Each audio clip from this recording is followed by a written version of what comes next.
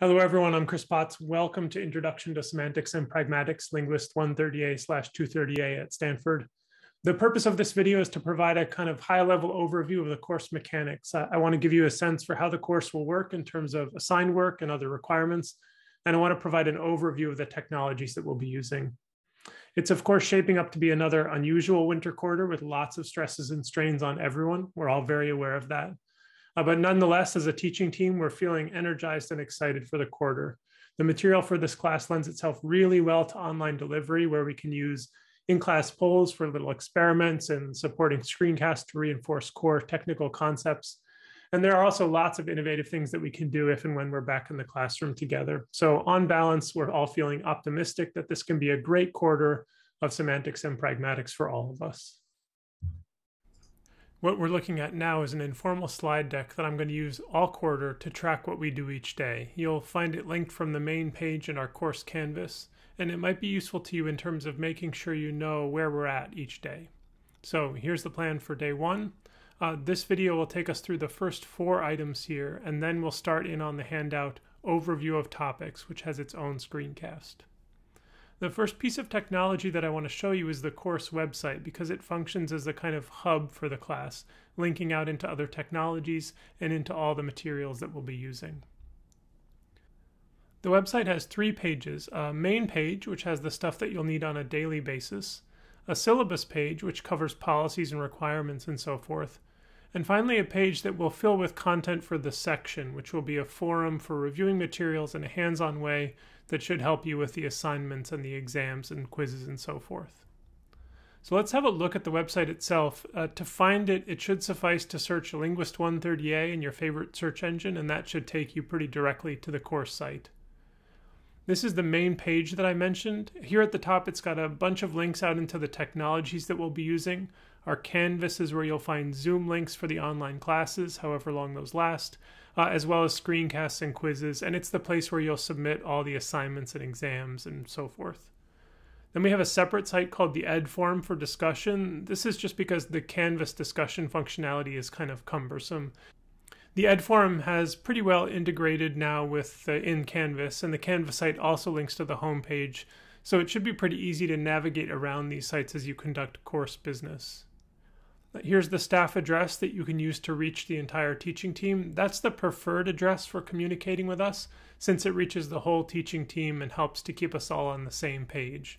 So you can just click here to reach us. There's a bunch of other information up here about the course, and further down the page is the main schedule for the class. It links out to our materials. In the left column, we have a complete plan for the quarter.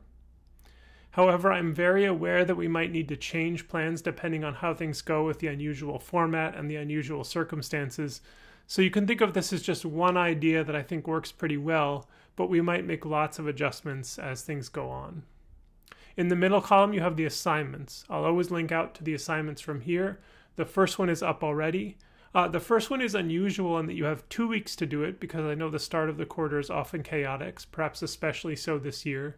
After that, though, the assignments will follow a weekly cadence. They'll be distributed on Tuesday and due right at the start of class on the following Tuesday. So even if we change our plan in terms of the content, you can count on that sequence of assignments going through the quarter. The only interruption, so to speak, is a take home midterm, which is kind of like a larger and sort of more boring assignment. It's open book and open notes, and you do it on your own time. It's meant to make sure that we're doing a kind of comprehensive review of the material that we've covered up to that point.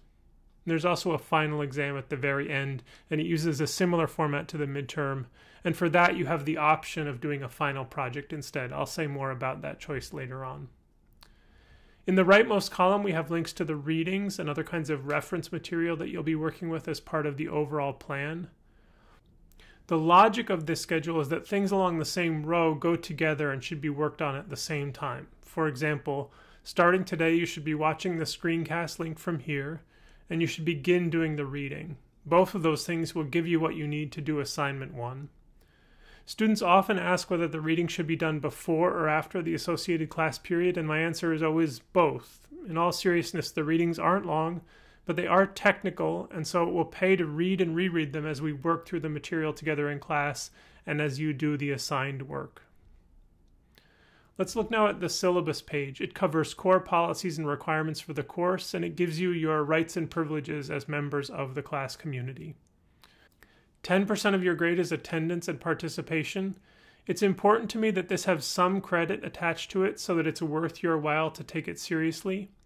However, it's unlikely to be a traditional corridor, so we're providing a number of ways for you to satisfy the requirements. Here's the plan. There are 18 participation points in total.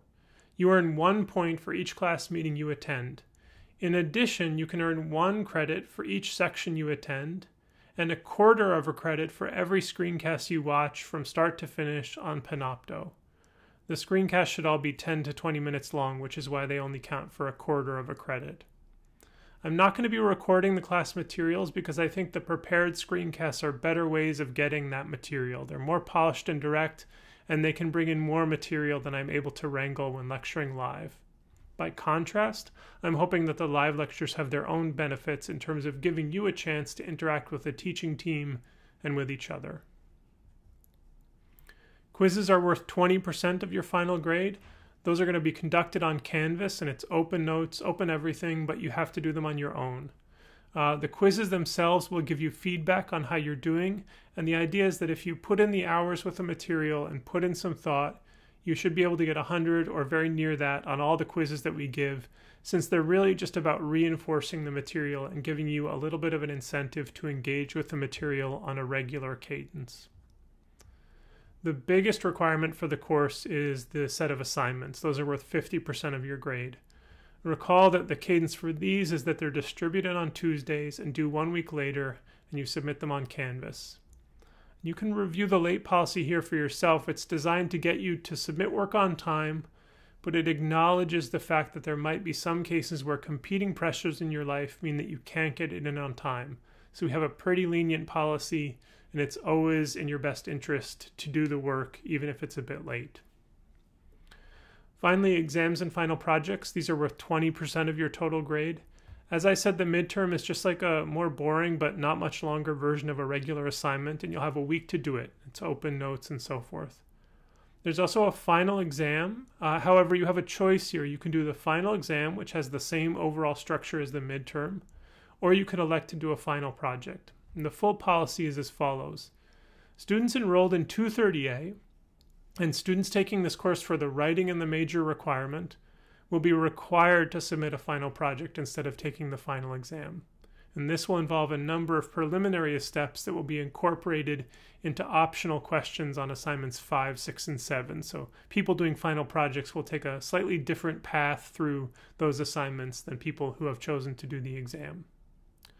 All other students besides those mentioned in the policy have the choice between the final exam and a final project.